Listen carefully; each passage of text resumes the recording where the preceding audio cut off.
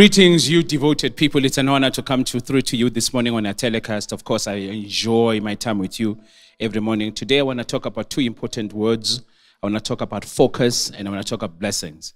And for our focus verse, I want to look at Psalms 121.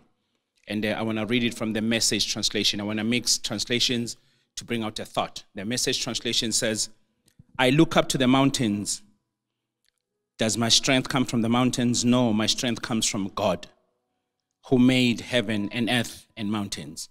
Underline that word strength. Remember when we talk about an ability to stretch yourself, to go without stopping, chase your dream, do the work of God. We're talking about strength. People who have lost strength, whose strength is drained by the problems they face, they lose energy, they sit around and do nothing. Strengthless people are problematic people. That is why we want to let you know that where does your strength come from? The strength comes from God. Verse number three, it says, He won't let you stumble. That's focus. He won't let you stumble. Your guardian God won't fall asleep. Not on your life. Israel's guardian will never doze or sleep. I like that. God will never fall asleep. He won't fall asleep when watching you. God's your guardian, right at your side to protect you. Remember, He won't stumble, He won't let you stumble.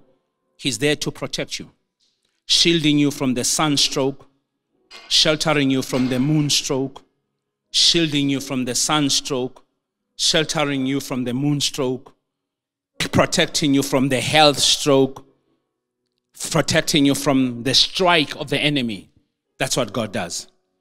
God guards you from every evil target evil, financial evil, friends evil, jealous people evil. God guards you from every evil. He guards your every your very life. He guards you when you leave. He guards you when you return. When you go out, he guards you. He protects you. When you come back home, he protects you.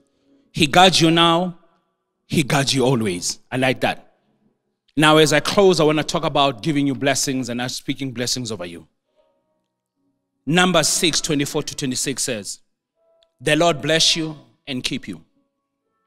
The Lord make his shine, his face shine upon you. May he be gracious to you. The, love, the Lord lift up his countenance upon you and give you peace. Titus 3:15 says, All who are with me greet you. Greet those who love us in the faith, and grace be with you all. Amen. Colossians 4:18 says, Grace be with you Amen. Thessalonica 5:28 says, "The grace of our Lord Jesus Christ be with you. Greet one another. Peace to you all you are in Christ Jesus."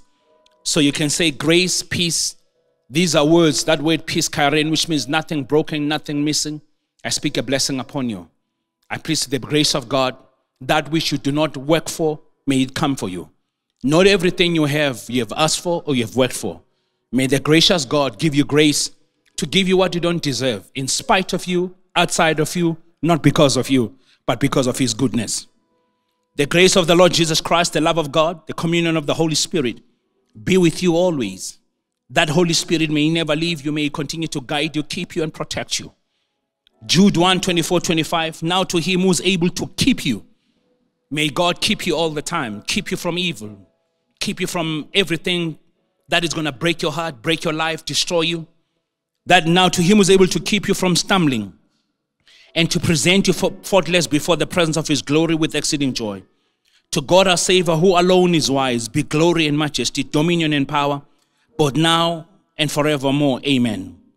Hebrews 13, 20, 21. Now may the God of peace, who brought you up, uh, brought up our Lord Jesus Christ from the dead, the great shepherd of the sheep, through the blood of the everlasting covenant. Make you complete in every good work to do his will, working in you what is pleasing in his sight through Jesus. To him be glory forever. May your focus be on God, upon his ability to keep you, to protect you.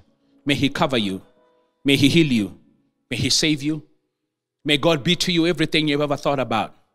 May his goodness, may he never allow you to stumble.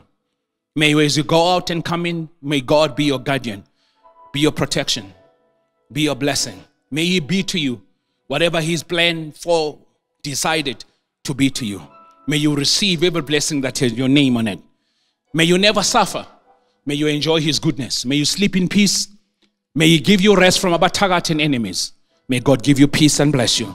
Father, we thank you for the goodness of God that we receive today in Jesus' name. Amen.